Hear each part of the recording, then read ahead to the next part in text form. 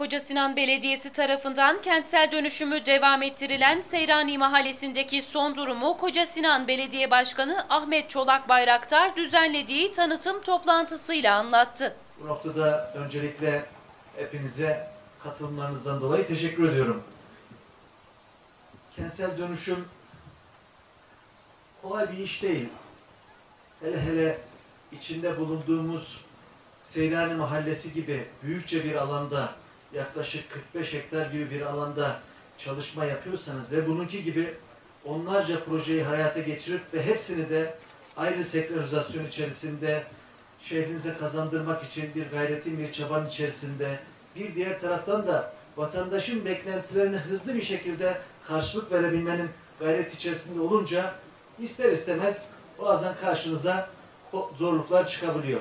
Ama işin nihayetinde öyle bir güzellik var ki insanlar evlerini aldıkları zaman, içine girip oturdukları zaman hele hele ya Allah razı olsun bu işte emeği geçenlerden bize böylesine bir ortamda sağlama noktasında kimin emeği geçmişse Allah razı olsun diyorlarsa o zaman değmeyin keyfimize. Bütün yapılanların hepsini unutuyorsunuz. Geçmişte olan bütün sıkıntılara, çekilen sıkıntıların hepsi bir tarafa gidiyor. Bu sefer başlıyorsunuz. Acaba yeni bir şekilde bir işleri yapmak için nereden başlasak? Nerelerde ihtiyaç var? Nerelerde Kayserimize değer katacak, Kayserimize yakışacak projeleri imza atsak veyahut da hemşerilerimizin ihtiyaçlarını nereden karşılasak diye bu sefer de yeni bir şeyleri yapmanın gayret içerisine düşüyorsunuz. Evet, 2019 yılında yaşamak için, yaşatmak için mottosuyla yola çıktık. Yeni dönemin mottosu dedik ki yaşamak için, yaşatmak için. Yaşanabilecek alanları inşa etmemiz lazım. Mevcut alanları da daha yaşanabilir hale getirmek için neler yapmamız gerekirse bunları alt alta sunduğumuz projelerimizi, programlarımızı sizlerle paylaşmıştık. Evet bunlardan bir tanesi de Seyrani Mahallesi. Şimdi içinde bulunduğumuz alanı biz 5 yıl öncesinden, 6 yıl öncesinden, 2015 yılından bu tarafa ilmek ilmek işliyoruz. Bugün geldiğimiz noktada özellikle sizlerle birlikte bu içinde bulunduğumuz ortamı birebir yerinde görebilmek için görsel briefing halinde yerinde görmeyi istedim, görelim istedim.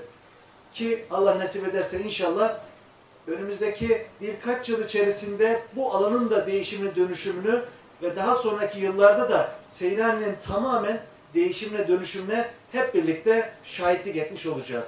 Başladığımız günden itibaren 2015 yılında öncesinden devraldığımız Seyrani Allah nasip ederse bizden sonraki kuşaklara, nesillere, evlatlarımıza daha yaşanılabilir bir çevre olarak devretmenin çabası ve gayret içerisinde olacağız. Buranın yenilenmesi lazım. Ama bir el değmesi lazımdı. Bir omuz vermesi lazım. Bir çabanın gösterilmesi gerekiyordu. Yoksa hiçbir şekilde uzaktan şu işler olsun, buralar yapılsın, güzellensin dediğiniz zaman oturduğunuz yerde bakarak veyahut da söyleyerek veyahut da içinizden geçirerek bunlar olmuyor. Bir çaba gerektiriyor, bir gayret gerektiriyor. Biz de bu çabayı, gayreti gösterebilmek için bu yola çıktık. Ve tabiri caizse her bir sokağında gezerek, her bir noktasında adım atarak, oradaki insanlara birebir ilgilenerek, hepsiyle konuşarak belli bir noktaya getirmeye çalıştık.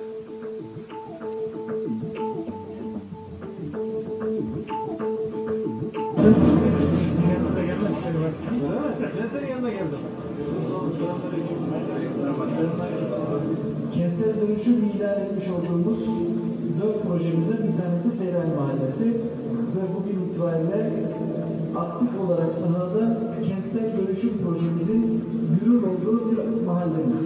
Hakikaten şehrimizin içerisinde örnek gösterilecek, insanların burada yaşamak için sıraya girecekleri bir mekan haline gelecek burası. Bittiğinde bu proje tamamlandığında nihayete erdiğinde bugün burada gördüğümüz kentsel tasarım projesinde ne var ise aynı şekilde sahada uygulanmış halde bu şekilde olmuş olacak.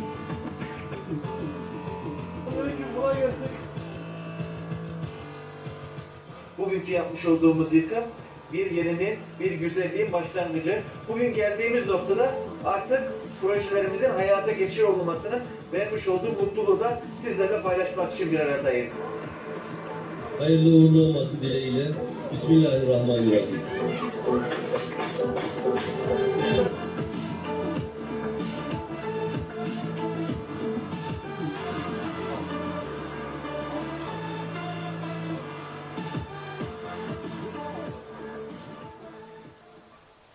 Videonun ilk başındaki orada ön taraftaki mevcut yapılı bir binanın altında dükkanda toplandık. Vatandaşları topladık 2015 yılı. Anlatıyoruz. Sizin burada kentsel dönüşüm geldi. Mahallenizde kentsel dönüşüm yapıyoruz. Kentsel dönüşümle birlikte artık gece konduları, eski imarsız yapıları bırakacaksınız. Yerine yeni binalar yapılacak. Siz buralarda oturacaksınız. Bir kere insanlara bunu inandıracaksınız. Buradaki yaşayan insanlara yeni bir hayatı anlatacaksınız. İşin bir diğer tarafında da bu işi yapacak olan yüklenicilere, müteahhitlere. Ey müteahhitler bakın burada böyle bir kentsel dönüşüm alanı var. Buyurun gelin. Burada iş yaptığınız zaman nihayetinde ticari bir iş yapacaksınız. Karşılığı olmasa kimse gelmez. Bu işi yaparsanız satıp para kazanırsınız. Böyle de bir bölge var size diye. Bir yandan da yüklenicileri, müteahhitleri inandıracaksınız bu işe. Kendinizin inanması yetmiyor.